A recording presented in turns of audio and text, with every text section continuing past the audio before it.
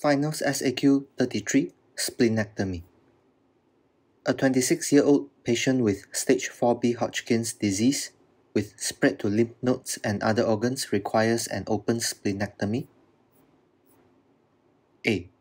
List the specific factors that are of importance when planning your anesthetic management. Think about the disease process, the treatment so far, and the operation. Airway Meticulous airway assessment. The airway may be compromised by lymph nodes in the neck or oropharynx and mediastinal mass compression. If there is airway compression in the mediastinum, the patient may complain of cough, dyspnea, hoarse voice, orthopnea, syncope with positional change or no symptoms at all. Identify what position the patient is least symptomatic in. Assess with CT thorax. Compression may be at the tracheal or bronchial level. Plan A is keeping the patient spontaneously ventilating until the airway is secured. Plan B is rigid bronchoscopy. There may be mucositis from chemotherapy, care with airway instrumentation, breathing. Atelectasis with or without pneumonia may be present due to airway collapse caused by lymph nodes and immunocompromised state. Assess with chest x-ray and CT thorax. Bleomycin confers lifelong susceptibility to pulmonary toxicity with exposure to high FiO2. Oxygen saturations should be maintained at 88 to 92%. Minimize supplemental oxygen whenever possible. Cardiovascular. Compression of major vessels with or without the heart by mediastinal lymph nodes may occur. There is risk of cardiovascular collapse under general anesthesia. Assess with CT thorax. Cardiac dysfunction may be caused by chemotherapy. Damage to valves, vessels, and pericardium may occur due to mediastinal radiotherapy. Assess with echocardiography for myocardial compression, ventricular dysfunction, and pericardial effusion. Central venous access or port may be present for chemotherapy. Neurological. Nerve or spinal cord compression may be present due to lymphoma mass, Peripheral or autonomic neuropathies may occur due to chemotherapeutic agents. There may be prolonged gastric emptying, necessitating an acid pre-medication and RSI. Pharmacology. Consider the side effects of chemotherapy. Examples include cisplatin, causing ototoxicity, nephrotoxicity, nausea and vomiting, bleomycin or busulfan, causing pulmonary toxicity, cyclophosphamide or ifosfamide, causing hemorrhagic cystitis, cytarabine causing chemical conjunctivitis, doxorubicin or daunorubicin causing cardiotoxicity, oxaliplatin, vincristine or taxanes causing peripheral neuropathy, irinotecan causing diarrhea. Gastrointestinal. There may be malnourishment due to anorexia associated with treatment, painful mouth due to mucositis, or fullness of abdomen from splenomegaly. The patient may have vomiting or diarrhea due to chemotherapy. Hematology. Pancytopenia may be present with low platelets and hemoglobin. These may need to be corrected prior to surgery. Regional anesthesia may be contraindicated. Significant blood loss can occur intra-op. Ensure adequate IV access and cross-match. Immune and infection. The patient is likely immunocompromised due to disease and chemotherapy. Assess for intercurrent infection Provide meticulous infection control. Cutaneous musculoskeletal: There may be easy bruising, bleeding from minor cuts. These are associated with thrombocytopenia and thin fragile skin. Care with positioning and padding. Edema from hypoalbuminemia associated with liver impairment or nephrotic syndrome may be present. Difficulty with venous access should be anticipated. Renal dysfunction may occur due to chemotherapy, nephrotic syndrome, obstruction of renal vessels or ureters, lymphogranulomatous infiltration of parenchyma, or amyloid. This impacts on perioperative drug choices. Dehydration and hypotension should be avoided to avoid acute kidney injury. Liver dysfunction due to chemotherapy or disease may be present.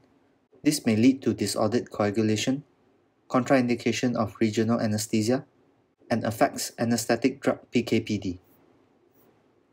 B. Outline the options for providing post-op analgesia for this patient and give possible disadvantage of each. Oral analgesics are insufficient on their own. NSAIDs may be contraindicated to avoid renal dysfunction. Paracetamol dose may need adjusting in the presence of liver dysfunction. Oral morphine and its active metabolites may accumulate in the presence of renal failure. Epidural analgesia may be contraindicated due to thrombocytopenia or coagulopathy. CVS instability may occur as high spinal block would be required. High block may cause compromise to respiratory function, which may be already compromised due to mediastinal disease. Paravertebral block avoids cardiovascular instability that may result from epidural, but may be contraindicated due to thrombocytopenia or coagulopathy. Patient-controlled analgesia may require high dose to achieve adequate pain relief. Long-acting opioids such as morphine may accumulate in the presence of renal dysfunction, leading to opioid toxicity. Fentanyl PCA may be a more suitable alternative in renal dysfunction. Rectus sheath and transverse abdominis plane block. These do not reduce visceral pain but reduces analgesic requirements overall. They might not achieve adequate cover for proximal end of the wound. However, they may be feasible when low platelet counts contraindicates neuraxial blocks. C. Which vaccinations should this patient receive and what is the optimal timing of these?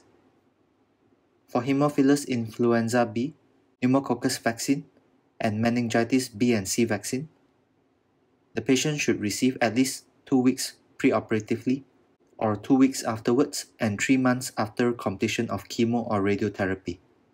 Pneumococcal vaccine booster dose every 5 years and influenza vaccine every year. Additional information Examiner report Candidates had not read the question carefully as they should have done. They may lack knowledge on implications of Hodgkin's lymphoma and its treatment for anesthesia. Rather than focusing on specific factors of importance, many candidates wrote about general problems when anesthetizing for a splenectomy. Hodgkin's lymphoma. This is a cancer of the lymphatic system and presents with lymphadenopathy, splenomegaly, hepatomegaly, etc. In stage 1, there is single lymph node involvement.